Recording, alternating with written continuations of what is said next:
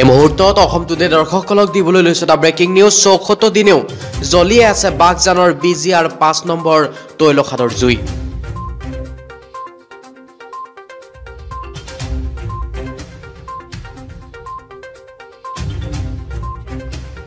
তাৰ মাজতে বাগজানবাসীলৈ সামান্য সকাহ। বাগজানৰ তৈলখাদত স্থাপন কৰা হ'ল ব্ল' আউট প্ৰিভেল্টাৰ আৰু প্ৰশস্ত হ'ল জুই আৰু গেছৰ চাপ নিয়ন্ত্ৰণলৈ অনা পথ। পৰৱৰ্তী পদক্ষেপত ঘাটটো কিলিঙৰ ব্যৱস্থা কৰিব বুলি জানিব পৰা গৈছে আৰু কেইদিনমানৰ ভিতৰতেই জুই সম্পূৰ্ণ নিৰ্বাপন হোৱাৰ আশা প্ৰকাশ কৰিছে। আৰু ইফালে ছয়জনীয়া বিদেশী বিশেষজ্ঞৰ চাৰিজন ইতিমধ্যে উভতি গৈছে নিজ দেশলৈ। দুজন বিদেশী বিশেষজ্ঞৰ সৈতে অইলৰ অ' এন জি চিৰ বিশেষজ্ঞ জুই নিৰ্বাপনৰ কাৰ্যত ব্ৰতী হৈ আছে। আমি পুনৰবাৰ জনাইছোঁ অসম টুডে দৰ্শকসকলক। চৌসত্তৰ দিনেও জ্বলি আছে বাগজানৰ বি জি আৰ পাঁচ নম্বৰ তৈলখাদৰ সেই ভয়ানক জুইকুৰা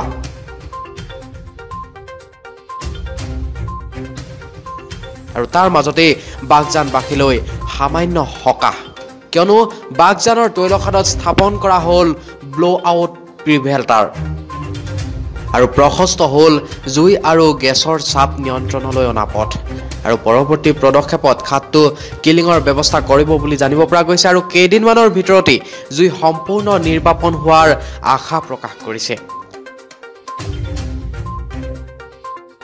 আৰু ইফালে ছয়জনীয়া বিদেশী বিশেষজ্ঞৰ চাৰিজন ইতিমধ্যে উভতি গৈছে নিজ দেশলৈ।